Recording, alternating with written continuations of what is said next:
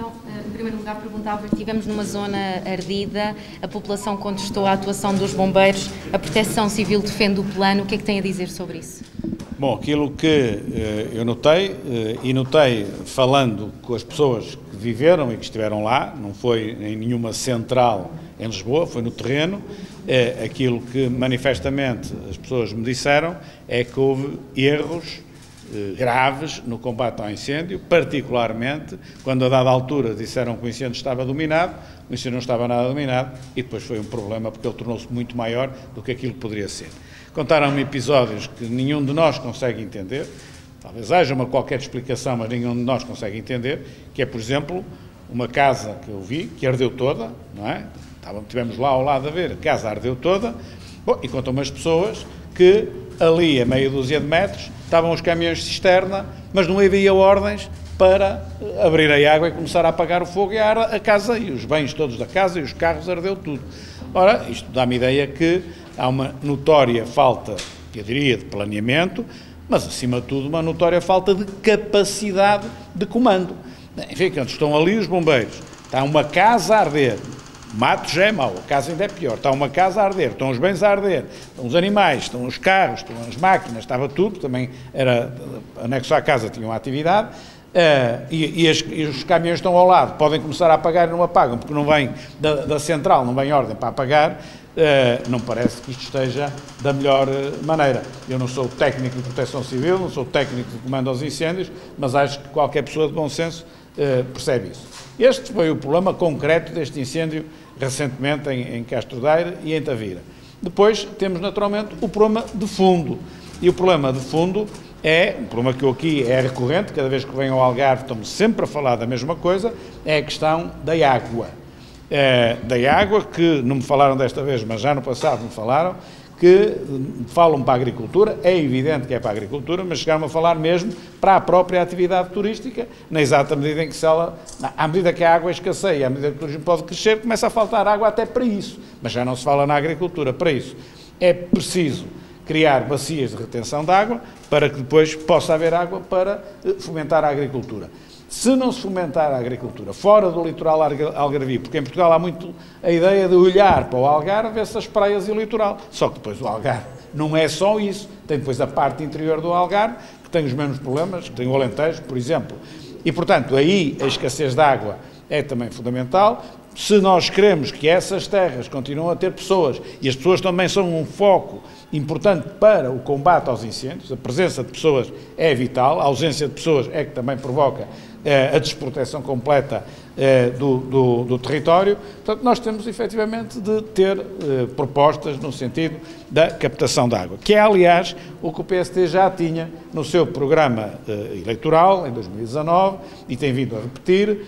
Porquê? Porque isto que me falaram hoje, já me tinham falado muitas vezes e eu estou perfeitamente dentro desse problema. Portanto, o apelo que se tem de fazer ao Governo, que os autarcas eh, do PSD, seja os que já são presidentes de Câmara, seja aqueles que pretendem ser, eh, o apelo que fazem e, e, ganhando as eleições, aquilo em que eles se vão dedicar a sério, é resolver os principais problemas e à cabeça do principal problema está logo a questão da água, que é vital. É? Portanto, a vida nasce da água e do sol, fundamentalmente. Sol aqui não falta, mas falta água. Portanto, é, é algo que nós temos de, de, de, de necessariamente combater. Falta de água aqui não só.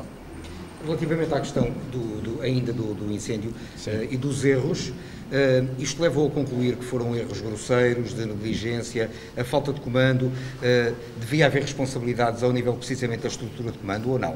chega a esse ponto? A, aquilo, aquilo que eu posso dizer dos testemunhos que me deram, claro que eu não estive aqui, e mesmo se tivesse estado aqui na altura do incêndio, não sei se tinha eu próprio capacidade para avaliar tecnicamente o que estava a ser feito. Agora, as pessoas que estiveram mesmo na frente, juntamente com os bombeiros, em que elas muitas vezes atuaram quando os bombeiros não atuaram, eh, e quando as pessoas me dizem que os bombeiros em si, os soldados, chamamos-lhe assim, como eles chamaram, eh, não fazem porque não têm instrução, não têm uma instrução central para fazer, naturalmente que a conclusão que se tira é de um déficit de capacidade de quem está a coordenar, e não de quem está no terreno, que tem de obedecer às ordens de quem está a coordenar. Portanto, tem de haver uma cadeia de comando diferente para que aquilo que, para que aqueles que estão no terreno, a opinião daqueles que estão no terreno e que estão próximos e em cima do problema, conte em quem está ao, lá longe a uh, coordenar as operações sem o conhecimento exato do que em cada momento está a acontecer. Até pode ter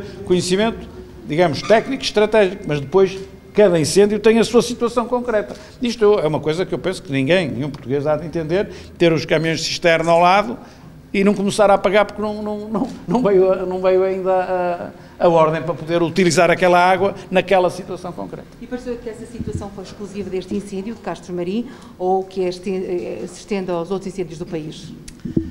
Antes de 2021, que é o ano em que estamos, que foi um ano que, apesar de tudo, a situação climática ajudou a que eh, não corresse muito mal, como correram outros anos. Estou a falar agora globalmente do verão no país, vamos ver, ainda não acabou, ainda falta, mas enfim, as temperaturas foram mais baixas, choveu mais, pelo menos no norte houve mais nevoeiro, mesmo aqui penso que as temperaturas foram mais baixas, e portanto, eh, aquilo que eu ouvia no passado não é diferente daquilo que eu ouvi agora aqui nesta situação eh, concreta. Sempre muitas queixas da forma como o incêndio, ou os incêndios diversos, foram eh, atacados. Mas confesso, confesso, que desta vez, e neste concreto eh, incêndio de há, de há pouco tempo, eh, em Castro Marinho e em Tavira, estas críticas foram mais incisivas, mais diretas e mais lógicas e mais ordenadas do que aquilo que aumentou-se. Às vezes ouço muitos queixumes, muitos queixumes, muitos queixumes. Obviamente todos sabemos que em Pedrógão foi uma desgraça, mas já lá vai atrás. É, desta vez achei, eh, enfim, as críticas mais em uníssono e mais objetivas, não é? Que vão, que chocam um bocadinho contra a, eh, a opinião da Secretária de Estado que tem esta tutela, Exatamente. que deu os parabéns. Que aliás foi uma, uma das coisas que eu vi, não é? Foi a, a, as pessoas presentes um, um pouco digamos, escandalizadas, ou voltadas, ou desagradadas, pronto, para não exagerar, com o facto de o membro do Governo responsável, da Secretaria de Estado, vir aqui e dar os parabéns, porque podia ser bem pior, é? É bom, eu depois tive a oportunidade de andar pela estrada a ver a área eh, que ardeu, é uma coisa absolutamente brutal, é? Eh, a área de território ardido é absolutamente brutal.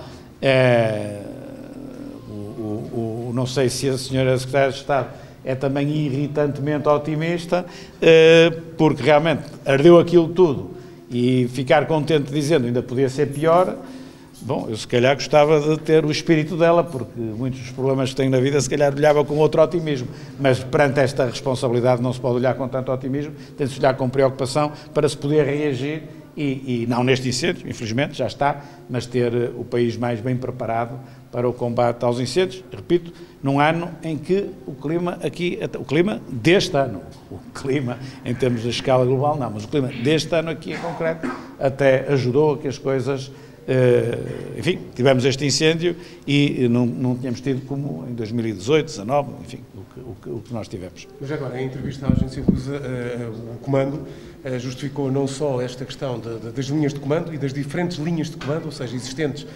também no local, ou seja, que cada, cada um pode, poderá decidir, dependendo do local, não essa linha de comando, e justificou precisamente o que estava a dizer em relação ao facto de terem ardido os tais 6 mil hectares em vez dos 20 mil e em vez dos 30 mil que arderam há alguns anos, precisamente no mesmo sítio, com as mesmas eh, condições. Considera que, nesse caso, essa justificação será uma justificação ehm, que, que, que, não justifica nada disto?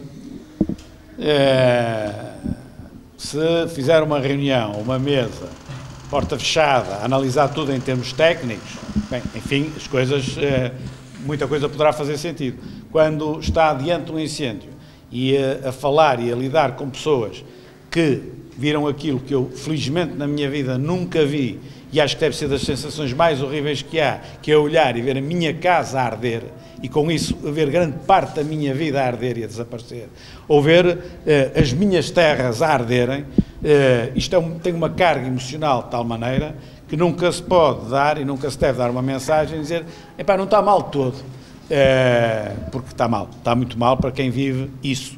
E, portanto, eh, mais o relato que me fizeram, repito, de dizer que o incêndio estava dominado e não estava nada, isso, o virar as costas, ou virar relativamente as costas, um incêndio dominado que não estava dominado, é que deu depois, eh, o, enfim, a, a, escala que deu, eh, não me parece mais apropriado dar os parabéns pelo facto de, de, de ter sido pior.